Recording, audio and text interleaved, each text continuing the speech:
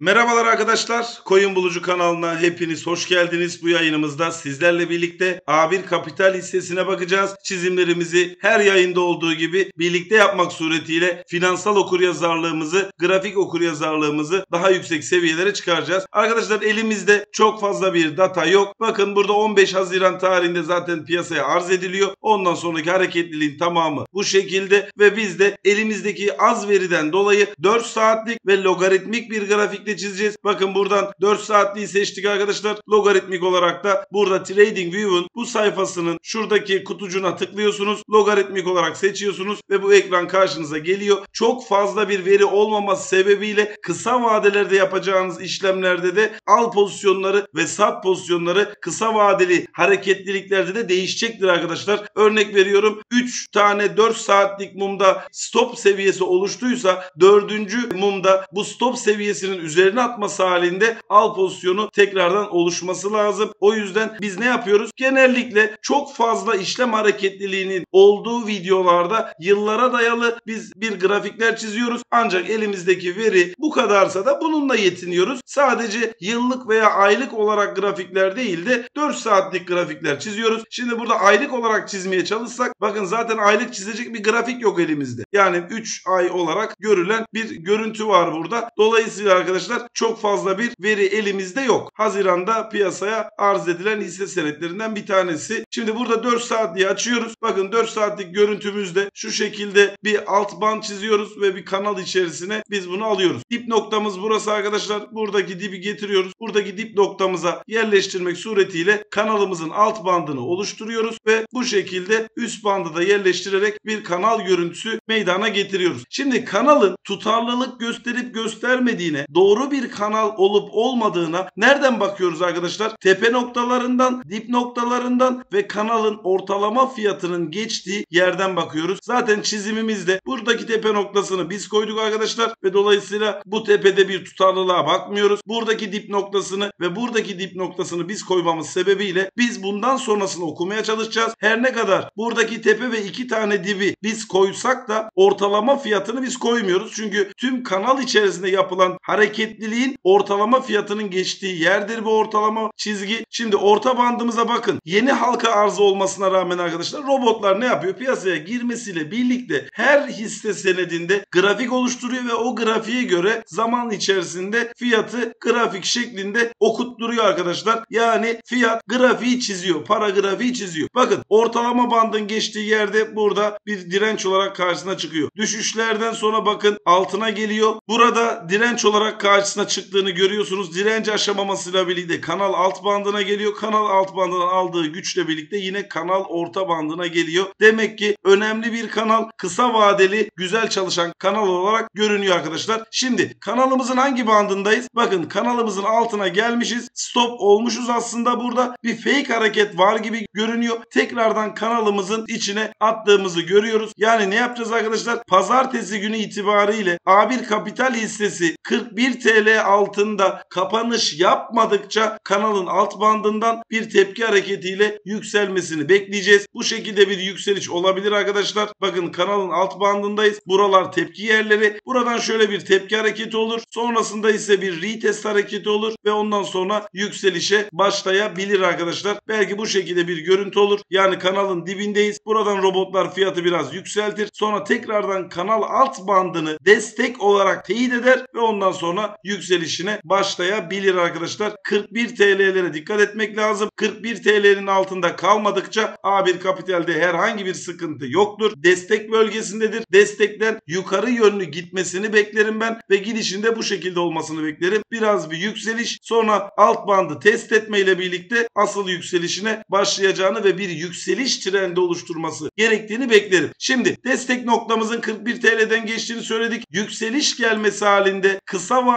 direnç bölgemizin nereden geçtiğini ise ne yapıyoruz arkadaşlar? Bir düşen trend çiziyoruz. Bakın düşen trendimiz budur. Yükseliş gelmesi halinde ise 43.75 TL'lerin direnç olduğunu buralarında üzerine atması ve kapanışlar yapmaya başlamasıyla birlikte bizim hedefimizin tekrardan kanal orta bandı 48 TL civarlarında karşımıza çıkacağını görüyoruz arkadaşlar. Şimdi ben burada 48 olarak söylüyorum ama arkadaşlar bakın yükselen bir trend yani yükseliş açısını görüyorsunuz. Her bir 4 saatte saatte bu direnç bölgesi de değişecektir. Yani hangi zamansallıkta buraya gelecekse buradaki direnç de ona göre değişeceği gibi destek bölgesi de ona göre değişecektir. Bakın öncelikle 41 olarak görülüyor. Sonrasında 41.50 olarak görülüyor arkadaşlar. Yani yavaş yavaş destek bölgemizde yukarı yönlü gidiyor. Yani biz ne bekleyeceğiz? Pazartesi günü A1 Kapital hissesinin yukarı yönlü hareket etmesini, düşüş sergilememesini çünkü destek bölgesinde olmasını bekleyeceğiz. Buradaki direnç noktamız 43.70'lerin üzerine atması halinde ise hareketliliğin daha da sertleşmesini ve yükselişlerin daha hızlı gelmesini bekleyeceğiz. Destek konumundayız. Teknik grafiklere ve coin bulucunun bu konudaki söyledikleri bu şekilde. Şimdi yardımcı indikatörler ne söylüyor ona bakalım. Bakın bunları coin bulucu söylemiyor. Sadece yardımcı indikatörler söylüyor arkadaşlar. Haberiniz olsun. Coin bulucunun kendi söylemleri gibi lütfen algılanmasın. Şimdi içim oku bulutumuz. İçim oku bulutu diyor ki benim destek bölgem diyor 42 TL'den geçiyor. 42 TL'nin fiyat altına inmesi sebebiyle artık burası direnç bölgesi oldu diyor. Düşüş gelmesi halinde ise benim destek bölgem 37,5 TL'lerden geçiyor diyor. 37,5 TL'ler aşağı yönlü kırılmadıkça hala diyor yön yukarıdır. Çünkü bulut teorisinde bulutun bu üst çizgisinin üzerindeyse fiyat yükseliş trendi bir bulutun içindeyse kararsızlık bölgesi bulutun altındaysa bir düşen trend oluşması beklenir arkadaşlar. İçim oku bulut açısından 37,5 TL'nin altında kalmadıkça yön yukarı olarak okunmalıdır. Şimdi RSI bantlarımıza bakalım. Bakın arkadaşlar RSI bantlarının da zirve noktası olan yani önemli direnç bölgesi olan kırmızı çizginin üzerine atamamayla birlikte kanal orta bandından destek alıyoruz. Kanal orta band destek bölgemiz ise 40.50 TL. Bize diyor ki 40.50 TL'nin altında kapanış yapmamasıyla birlikte önemli olan burada 4 saatlik kapanış ancak günlük kapanış daha garanti olur arkadaşlar. Günlük bakarsanız yönünüzü daha rahat tespit edersiniz. 40.50'nin altında kalmadıkça yön yukarıdır diyor RSI bantlarımız. Bir de Wave Trend with Cross''a bakalım. Bu da bizim osilatörümüz. Osilatörümüz bakın bu bölgelerde sat emri veriyor. Yani 44 TL civarında sat emri veriyor. Henüz al emri vermiyor. Destek bölgesine yakınız diyor. Bakın bu bölgede de zaten destek bölgesindeydik. Al vermişti. Beklenti nedir? Yine buralara yakın bir yerden al vermesi şeklindedir. Kararsız bölgede arkadaşlar önemli bir destek bölgesinde piyasalar düşerse A1 Kapital'de de biraz daha fiyatların baskılanması beklenir. Ancak piyasalarda herhangi bir düşüş olmazsa destek bölgesinde olması sebebiyle buradan bir yükseliş beklenir. Ancak